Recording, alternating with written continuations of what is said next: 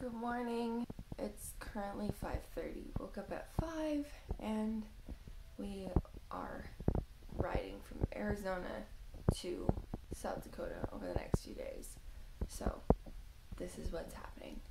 My mom has two motorcycles here in Arizona, and obviously one person cannot ride two bikes back.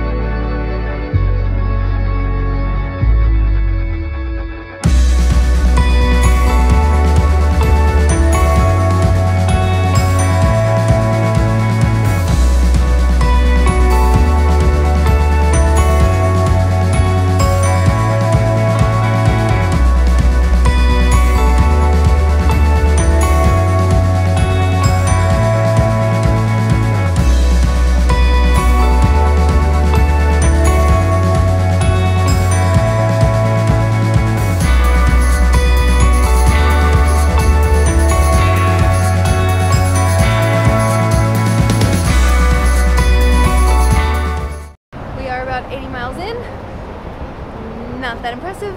Already got a gas break uh, in Payson, Arizona. It's not that cold.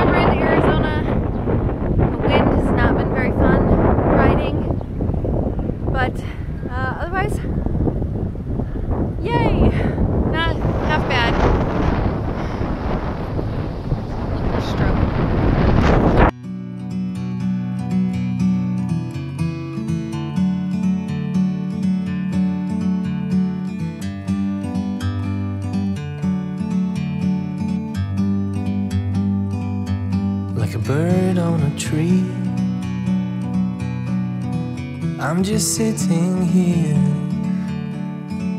I got time, it's clear to see. From up here, the world seems small. We can sit together. It's so beautiful, you and me. Meant to be in the great outdoors, forever free.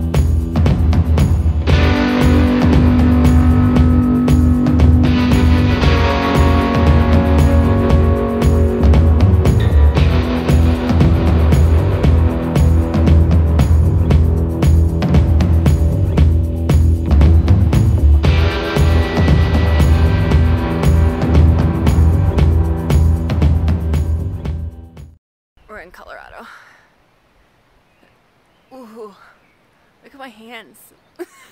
They're black and blue from my gloves. I'm covered in leather fuzzies. I have an alfalfa sprout for my helmet. It's, yeah. So, um, I'm ready to go to bed. And it's 7 o'clock. Yeah. But it's really pretty here in the mountains, Colorado. It's one of my mom's favorite places to stay. Should turn the key off on the bike. I'm not sure if this is extra or genius. We brought a massager. It's trying to feel human again. Took a shower. Gonna eat dinner. The gusts of wind today for basically the entire drive was not that fun, but looking forward to going through Colorado and just having a chill. So it started out as just a cross-country trip to get two motorcycles from Arizona to South Dakota. Has now turned into selling one of the bikes in Wyoming. So, little detour. Point is, because of COVID, we had to stay two nights in this, um, one of my mom's favorite places here in Colorado, and he had to pay for two nights. So, we're fine with that. We can pop around uh, the Colorado area down here by Cortez and hang out, but part of that is dinner in the room. So, I have packages of tuna and this cheddar popcorn, and I'm gonna try them together because this is dinner. So, sounds all weird. White cheddar popcorn, not bad. It is what it is. It's dinner. this popcorn's really good. I may have stopped eating the tuna. Also, just because I love popcorn.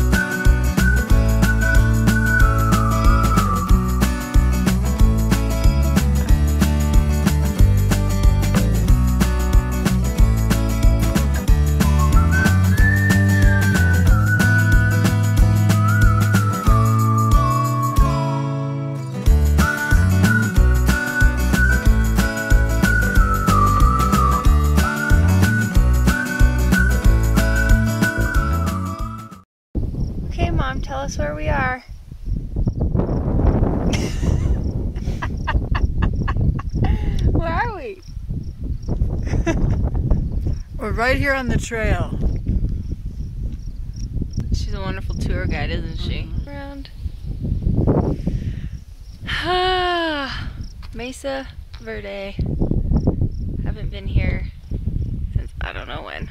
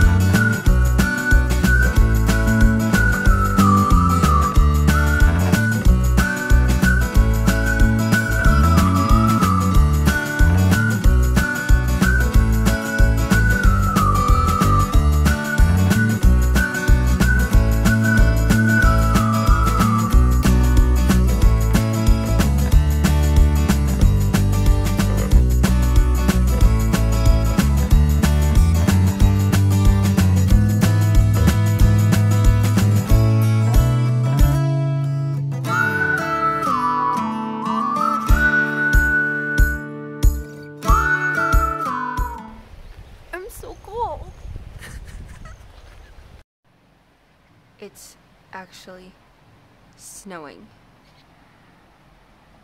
Are we ready for this? I don't think it'll stick. I don't know. Earlier it was already down in the 30s. It was raining earlier. Oh. Not happy.